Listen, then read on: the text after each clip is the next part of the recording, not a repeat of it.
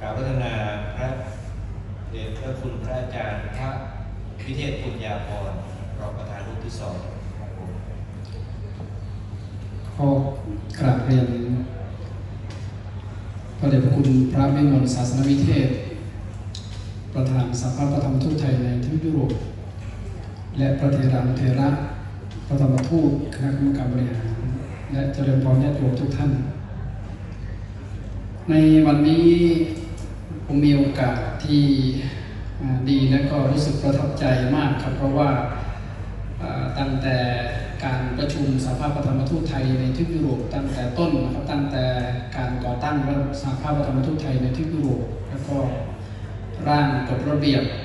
จนเป็นสภาพนะจัดตั้ง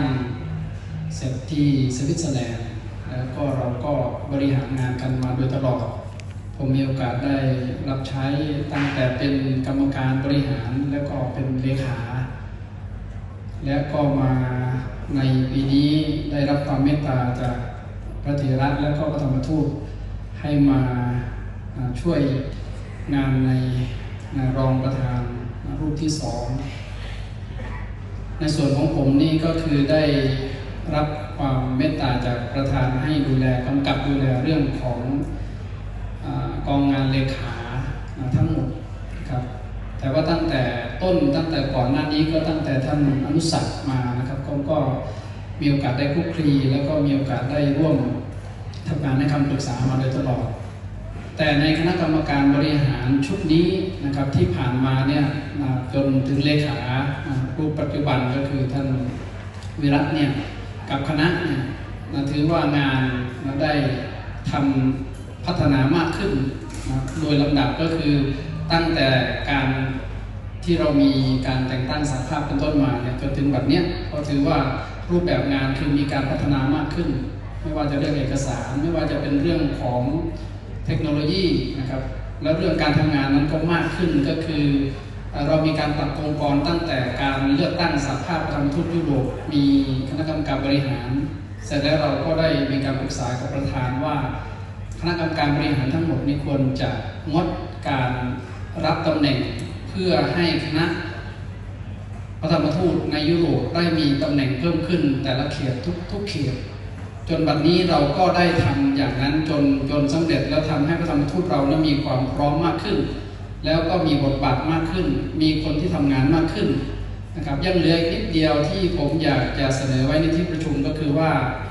เนื่องจากว่าสหภาพพระธรรมทูต ไทยในทวีปยุโรปเราเนี่ยตั้งมานานแล้ว เดิมทีมีแค่สิบวัด เราก็ตั้งประธานหนึ่งแล้วก็รองสอง แต่ณบัดนี้เราขยายเป็นสี่เขต แล้วผมคิดว่าอยากจะเสนอไว้ว่าควรจะเพิ่มประธานหนึ่งประธานหนึ่งรูปแล้วก็รองประธานเป็นสี่นะครับจากสองเป็นสี่อันนี้ก็อยากให้เป็นอย่างนั้น เพราะว่า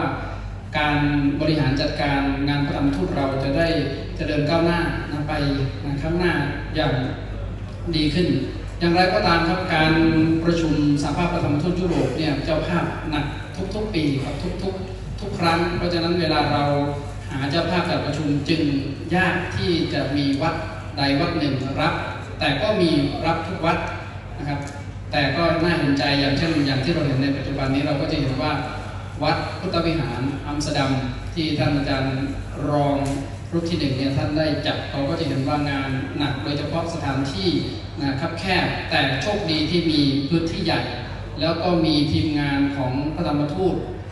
ช่วยกันสามัคคีกัน แล้วก็ญาติโยมจากหลายภาคส่วนที่มาช่วยกันอย่างอย่างสมบูรณ์แบบ ผมก็คิดว่า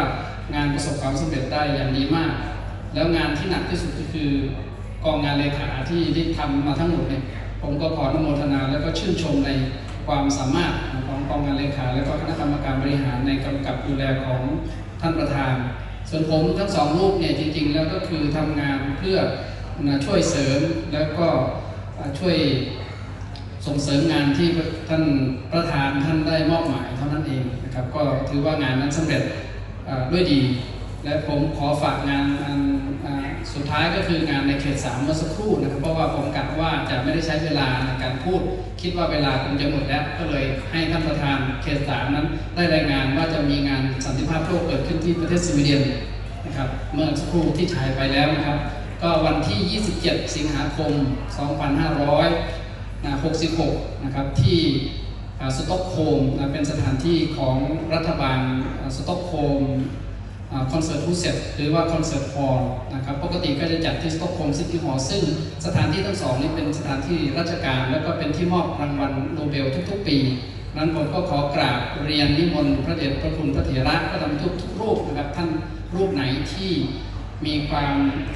ประสงค์จะร่วมงานสันติภาพโลกที่ประเทศสวีเดน ก็ขอกราบรัตนานิมนต์และก็ขอรายละเอียดเพิ่มเติมได้ที่ ผมผมก็จะจัดส่งไปนำถวายนะครับก็ขอกราบขอบพระคุณท่านท่านท่านเจ้าภาพนะครับที่จัดงานประชุมในปีนี้ แล้วก็ขอกราบขอบพระคุณพระเถรานุเถระทุกรูปที่เมตตาโดยเฉพาะคณะกรรมการบริหารทุกท่าน และก็เจริญพรญาติโยมทุกคนนะก็ยินดีต้อนรับญาติโยมทุกท่านด้วยขอกราบขอบคุณครับกราบขอบพระคุณพระอาจารย์พระอาจารย์เจ้าคุณสวีเดนนะครับ